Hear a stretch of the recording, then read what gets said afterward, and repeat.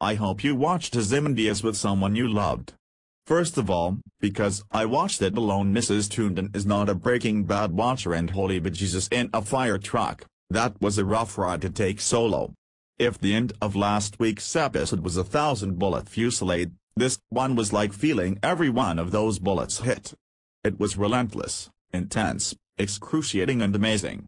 If each remaining episode intensifies this much more than the last, I am going to burst into flames. But I also say that because, while Breaking Bad may be about drugs and crime and morality and all that good, tragic downfall stuff, at heart it's about family, what you do for them, what they do to you, and how you fail them.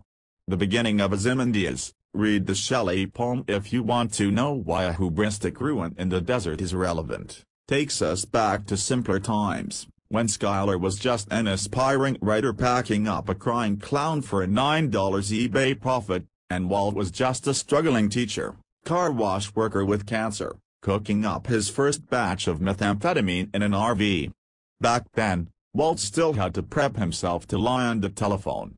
Back then, Skyler was asking him to bring home a pizza, not preparing to carve him into slices. Walt was still doing this for his wife and kids. He believed he was going to die, but there were still possibilities. It's a little over a year ago. It feels like another time, another planet. Vince Gilligan has famously said that Breaking Bad is the story of how Mr. Chips becomes Scarface. And it's true, and that's the exciting, attention-getting way of putting it. But it is equally, and heartbreakingly, the story of the journey from will do. Love you, to you stupid bitch. How dare